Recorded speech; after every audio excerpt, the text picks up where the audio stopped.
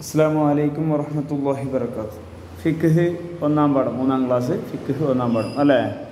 അപ്പോൾ എല്ലാവരും ഉഷാറിലല്ലേ? പാഠം തുടങ്ങി അല്ലേ? എല്ലാ വിഷയത്തിന്റെ പാഠങ്ങളെല്ലാം തുടങ്ങി കുറേ ദിവസം ലീവെല്ലാം കഴിഞ്ഞ് വന്ന സന്തോഷത്തിലാണ് അല്ലേ? ഒരു ഉഷാറിലിരിക്കുക എല്ലാവരും. എന്നിട്ട് നമുക്ക് പെട്ടെന്ന് പാഠത്തിൽ പോവാം. കാരണം കുറേ ക്ലാസ് എല്ലാം കഴിഞ്ഞു പോയി അല്ലേ? ദിവസങ്ങൾ കഴിഞ്ഞു പോയി ഇനി ചുരുങ്ങിയ ദിവസങ്ങളേ ഉള്ളൂ. ചുരുങ്ങിയ ദിവസങ്ങൾ മാത്രം ഉണ്ടാകുമ്പോൾ എന്താക്കുക? പെട്ടെന്ന് പാഠങ്ങൾ ശ്രദ്ധിക്കുക പാഠങ്ങൾ പെട്ടെന്ന് പഠിച്ചു പോവുക. എന്തെങ്കിലും സംശയങ്ങളുണ്ടെങ്കിൽ പെട്ടെന്ന് ചോദിക്കുക. അപ്പോൾ ഇന്നത്തെ പാഠത്തിന്റെ ആദ്യ പാഠം എന്താണ്? ആദ്യത്തെ നിസ്കാരം എന്നുള്ളതാണ്. ആദ്യത്തെ നിസ്കാരം അല്ലേ? ഈ ആദ്യത്തെ നിസ്കാരം എന്ന് പറഞ്ഞാൽ നമ്മൾ എന്ത് ചെയ്താലും ആദ്യം ചെയ്യുന്ന കാര്യം നമ്മൾ മനസ്സിലെപ്പോഴും ഉണ്ടാവും അല്ലേ ഏഹ് ഉപ്പ ദുബൈന്ന് വന്ന് പെട്ടി തുറന്ന് ആദ്യം എന്റെ മോനിക്ക് എന്ന് പറഞ്ഞിട്ട് സമ്മാനം തന്നു. അല്ല റുമാൻ? ആ.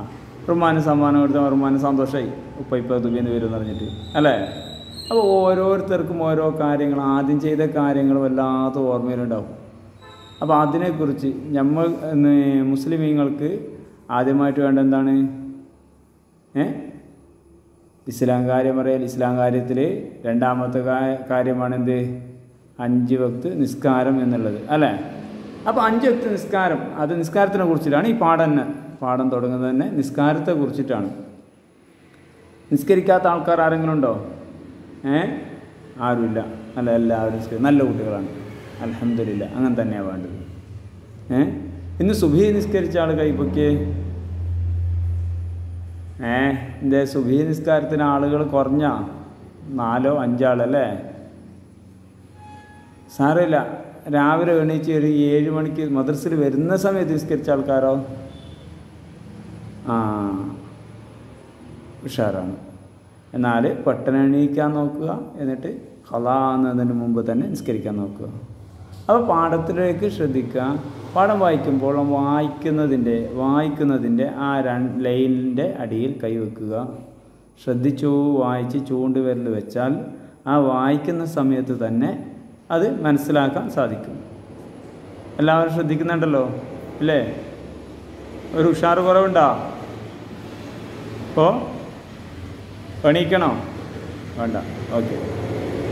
അപ്പോൾ അൻവർ. അൻവറെ ആ ഇത് നിങ്ങളല്ല വേറൊരു അൻവറിന്റെ കഥയാണ്. അൻവർ നോക്കൂ അൻവർ തന്റെ ആദ്യത്തെ നിസ്കാരം ഇപ്പോഴും ഓർക്കുന്നുണ്ട്. രണ്ടാം ക്ലാസ്സിൽ പഠിക്കുമ്പോൾ പിതാവിന്റെ കൂടെ അസർ നിസ്കരിക്കാൻ പള്ളിയിലേക്ക് പോയത്. പള്ളിയിലേക്ക് പോയ ആദ്യത്തെ ദിവസം. വളരെ സന്തോഷമുള്ള ദിവസമായിരുന്നു അത്. അൻവർ അന്ന് പിതാവ് ചെയ്യുന്നത് പോലെ എല്ലാം ചെയ്തു. ഉപ്പാന്റെ ഒക്കെ പള്ളിയിൽ പോവുക. നല്ല സന്തോഷം. ഇഷ്ടമുള്ള കാര്യമല്ലേ? വരുമ്പോൾ നല്ല മുട്ടായാലും മേങ്ങിയിട്ട് വരാമല്ലോ അല്ലേ? ആ. അപ്പോൾ പള്ളിയിൽ ആദ്യം ഉപ്പാനൊക്കെ പള്ളിയിൽ പോയ ദിവസം അത് വളരെ സന്തോഷമുള്ള ദിവസമായിരുന്നു എന്നാണ് പറയുന്നത് അൻവറിന്. ആ ദിവസം അവന് നന്നായി ഓർക്കുന്നുണ്ട്. അൻവർ അന്ന് പിതാവ് ചെയ്യുന്നത് പോലെ എല്ലാം ചെയ്തു. പിതാവിന്റെ ഇപ്പോൾ പള്ളിയിൽ പോയി പിതാവ് എന്തൊക്കെ ചെയ്യുന്നു? എന്തൊക്കെയാണ് ചെയ്യുന്നത് ഫസ്റ്റ് പള്ളിയിൽ പോയാൽ എന്താ ചെയ്യുക ആദ്യം? ഏ? നിസ്കരിക്കുന്ന ആദ്യമോ? അതെങ്ങനെ? ആദ്യം എന്ത് ചെയ്യുക? പള്ളിയിൽ കയറുമ്പോൾ കാൽ കഴുകുക എന്നിട്ട് ഹൗദിന്റെ അടുത്ത് പോയിട്ട് ഒളിവ് എടുക്കുക. അപ്പോൾ ആദ്യം ഒളിവ് എടുക്കണം. പിന്നെയാണ് പള്ളിയിൽ കയറുന്നത് നിസ്കരിക്കുന്നത്. ഒളിവ് എടുക്കാണ്ട് പള്ളിയിൽ പോയി നിസ്കരിക്കാൻ പറ്റുമോ? എന്താ? ആ അപ്പോൾ എങ്ങനെ ചെയ്യണം? ആദ്യം കാൽ കഴുകിയിട്ട് പള്ളീന്റെ ഉള്ളിൽ അഹുദിന്റെ അടുത്ത് പോവുക എന്നിട്ട് ഒതു എടുക്കുക. അപ്പോൾ അതെല്ലാം അൻവർ ശ്രദ്ധിക്കുന്നുള്ളത്. ഉപ്പ ചെയ്തതുപോലെ അൻവർ ചെയ്യാൻ തുടങ്ങി. എന്താണ് ഉപ്പ ചെയ്യുന്നത്? ഉപ്പ ആദ്യം അഹുദിന്റെ അടുത്ത് പോയി കാൽ കൈ ശേഷം മുൻ കൈ രണ്ടും അതാ വായിക്കുക. മുൻ കൈയും മുഖവും കൈ കാലുകളും എല്ലാം വെള്ളം കൊണ്ട് കഴുകി. തലയും ചെവിയും തടവി. ആ സമയത്ത് പിതാവ് എന്തൊക്കെയോ ചെല്ലുന്നുണ്ടായിരുന്നു. അവൻ എല്ലാം ശ്രദ്ധിച്ച് കേട്ടു. ഉപ്പ എന്തെല്ലാം ചൊല്ലിക്കൊണ്ടാണ് ഇത് ചെയ്യുന്നുള്ളത്? അല്ലേ? എല്ലാവരും അറിയോ ചെല്ലാനുള്ള ദിക്കറുകൾ ഇല്ല. ആ ഇൻഷാല്ല അത് പഠിക്കാം. രണ്ടാം ക്ലാസ്സിൽ പഠിച്ചില്ല? ഓക്കെ. അപ്പോൾ ഉപ്പ എന്തൊക്കെയാണ് ചെയ്യുന്നത് എന്ന് പ്രത്യേകം ശ്രദ്ധിക്ക് ശ്രദ്ധിച്ചു കൊണ്ടേയിരുന്നു ഈ ഉപ്പ മുൻകൈ കഴുകി മുഖം കഴുകി കൈകാലുകൾ കഴുകി വെള്ള പിന്നെ തല തടവി ചെവി തടവി എന്നെല്ലാം പറഞ്ഞല്ലോ. എന്താണിത്? ഇതിന് മൊത്തത്തിൽ പറയുന്ന പേരാണ് ഉലൂഹ് ആ ഉലൂഹ് എന്നുള്ളതാണ്. എല്ലാ ആൺകുട്ടികൾ എല്ലാവരും പള്ളിയിൽ പോയിട്ടുണ്ടല്ലോ അല്ലേ? പള്ളിയിൽ പോയിട്ടുണ്ട് അല്ലേ? ആ. പോവാത്ത ആൾക്കാരൊക്കെയുള്ളത് ഏ? ഷംന പള്ളി പോയിട്ടുണ്ടോ? പോയിട്ടുണ്ട് നാണീറ്റ് തന്നെ. ഇല്ല. അപ്പോൾ പള്ളിയിൽ പെൺകുട്ടികൾക്ക് പള്ളിയിലേക്ക് പോകാൻ പാടില്ല. പോകുന്നത് പെൺകുട്ടികളല്ല ആൺകുട്ടികളാണ് പള്ളിയിൽ പോയി നിസ്കരിക്കുന്നത്. ഓക്കെ? അപ്പോൾ പള്ളിയിൽ പോയി നിസ്കരിക്കുന്നത് ശ്രദ്ധിക്കുകയാണ്. അൻവർ ഉപ്പ ചെയ്തതൊക്കെ ശ്രദ്ധിച്ചു എന്ന് പറഞ്ഞു. മുൻകൈ കഴുകുക. മുൻകൈ എന്ന് പറഞ്ഞാൽ ഏതാണ്? ഈ രണ്ട് കൈയിന്റെ ഭാഗം മുൻകൈ ഈ ഭാഗങ്ങളാണ് മുൻകൈ എന്നുള്ളത്. അത് മുൻകൈ കഴുകുക പിന്നെ മുഖം. മുഖം എന്ന് പറഞ്ഞാൽ നന്നായിട്ട് ഏതാണ്? നെറ്റിയുടെ മേലെ അറ്റം. ഇവിടെ നിന്ന് തുടങ്ങി ഇതിങ്ങനെ താടിയല്ലിന്റെ കീഴേ അറ്റം വരെയാണ് മുൻപല്ല് ഏ മുഖം എന്ന് പറഞ്ഞാൽ. അപ്പോൾ മുൻകൈ കഴുകി അപ്പോൾ ആദ്യം എന്താ പറഞ്ഞാൽ മുൻകൈ കഴുകി മുഖം കഴുകി കൈ കാലുകൾ. കൈ എന്ന് പറഞ്ഞാൽ ഇവിടുന്ന് തൊട്ട് ഇവിടുത്തോളം കൈയാണ്. പക്ഷേ പൊതു എടുക്കുമ്പോൾ ഈ മുട്ടിന് കുറച്ച് മുകൾ ഭാഗം വരെ കഴുകുക. ഇതാണ് കൈഭാഗം ശ്രദ്ധിച്ചല്ലേ? ഇത് ഈ ബാക്ക് ഭാഗം പൊതുവ് ചെയ്യുമ്പോൾ പ്രത്യേകം ശ്രദ്ധിക്കണം ഇവിടെ നനയാറില്ല അത് ശ്രദ്ധിക്കണം. അപ്പോൾ കൈകാലുകൾ കൈകാലുകൾ എല്ലാം വെള്ളം കൊണ്ട് കഴുകുക. കഴുകണം. വെള്ളം തേച്ചാൽ വെറുതെ ഇതിങ്ങനെ വെള്ളം മുക്കിയിട്ട് തേച്ചാൽ മതിയാവോ? പോരോ അപ്പോൾ എന്താക്കണം കഴുകുക എന്നാണ് പറയുന്നത്. എന്നിട്ട് ഉപ്പ എന്ത് ചെയ്തു? കൈ രണ്ട് കൈ കഴുകി പിന്നീട് എന്താ പറയുന്നത് തല തടവി. തല തല എന്ന് പറഞ്ഞാൽ കുറച്ച് തടവി. പിന്നെ ചെവിയും ഇതൊക്കെ ഉപ്പ ഉപ്പ ചെയ്യുന്നത് അൻവർ നോക്കിയിരുന്നു എന്നാണ് അല്ലേ? പിന്നെ ഉപ്പ എന്തോ ചെല്ലുന്നുണ്ടായിരുന്നു. അത് എന്തെന്ന് ഇങ്ങനെ ശ്രദ്ധിച്ച് എന്തൊക്കെയോ ചെല്ലുന്നുണ്ട്. ആ. പിന്നീട് ആ അടുത്ത് എന്നിട്ട് എന്താ പറയുന്നത് നിസ്കാരം തുടങ്ങി തീരുന്നത് വരെ അവന് വല്ലാത്ത ഉത്സാഹമായിരുന്നു. ആദ്യം ചെയ്യുന്ന കാര്യം ഭയങ്കര സന്തോഷമാണല്ലോ എല്ലാവർക്കും. ആദ്യം നിസ്കരിക്കുന്നത് നോമ്പ് നോക്കുന്നത് പള്ളിയിൽ പോകുന്നതെല്ലാം ഭയങ്കര സന്തോഷമുള്ള കാര്യമാണല്ലോ. അപ്പോൾ അതിനെ നല്ല ആവേശത്തോടു കൂടി ഇതെല്ലാം അവനെ വല്ലാത്ത ഉത്സാഹമായിരുന്നു നല്ല ഉന്മേഷമായിരുന്നു നിസ്കരിക്കാൻ. ഭയങ്കര സന്തോഷത്തോടെ ഉപ്പാന്റെ കൂടെ തന്നെ നിന്ന് നിസ്കരിച്ചു.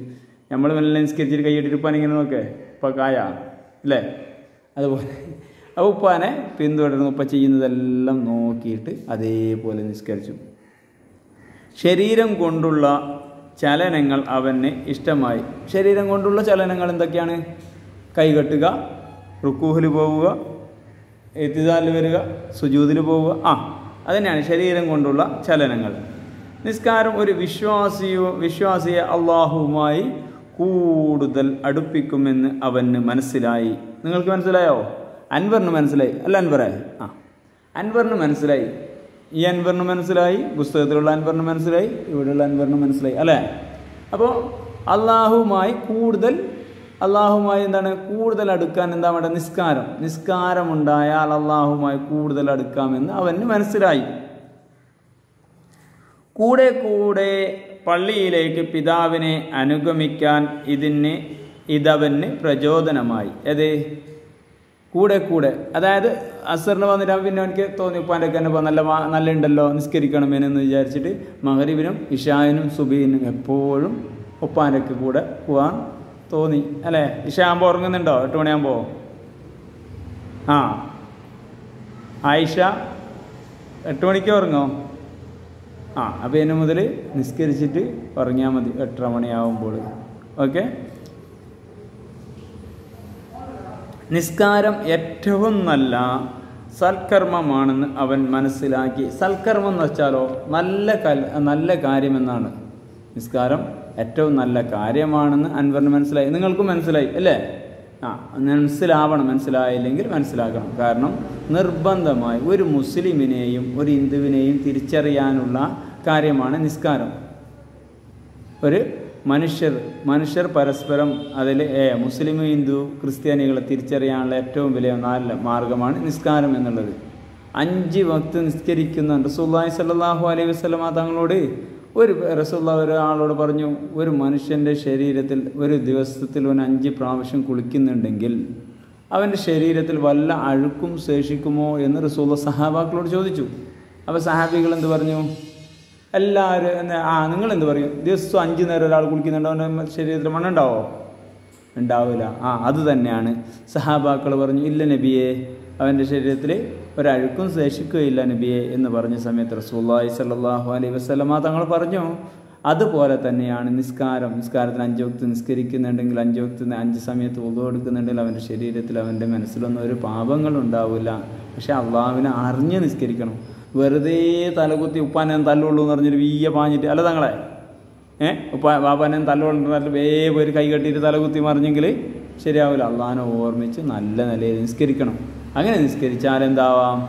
ഇൻഷാ അള്ളാ നല്ല കുട്ടികളായി വളരാൻ പറ്റും. അള്ളാഹുവിന്റെ അടുത്ത് സ്വർഗത്തിൽ പോകാൻ പറ്റും. ഒരു മുസ്ലിമിന് എങ്ങനെയാണ് ഏഴ് വയസ്സായാലും നിസ്കാരം കൊണ്ട് കൽപ്പിക്കണമെന്ന ഉമ്മാറ് ഉപ്പ ഉമ്മാലോ നിങ്ങളെല്ലാം നിർബന്ധിച്ച് നിസ്കരിക്കാൻ അയക്കുന്നത്. അതുകൊണ്ടാണ് പത്ത് വയസ്സായാൽ നിസ്കരിച്ചില്ലെങ്കിലോ? പത്ത് വയസ്സായാലും നിസ്കരിച്ചില്ലെങ്കിൽ അടിക്കണം. നന്നായി ചാന്തിക്ക് അടി കൊള്ളണം അല്ലേ? അടി കൊണ്ടാലേ പഠിക്കൂ. അപ്പോൾ ഇൻഷാല്ല നല്ല കുട്ടികളായി വളരാൻ അള്ളാഹു തോഫീക്ക് നൽകട്ടെ. അസ്സാം വലൈക്കും വറഹ്മത്തുള്ളാഹി വബർക്കാത്തു